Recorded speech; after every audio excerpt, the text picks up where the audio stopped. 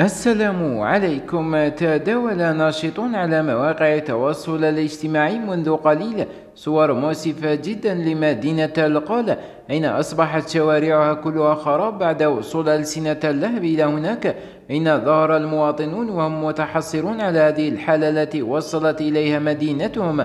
وحسب مصادر محلية فقد توفي عشرات المواطنين وأصيب المئات منهم بعد الحرائق المهولة. والتي تشهدها عدة ولايات شرقية.